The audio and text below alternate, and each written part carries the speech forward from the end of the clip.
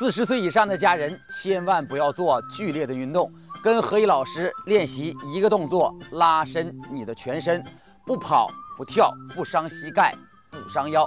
这个动作叫做猿猴探身，双手分开，食指交叉，反向的用掌心向前推，然后将我们的双脚打开，略宽于肩，向前去推。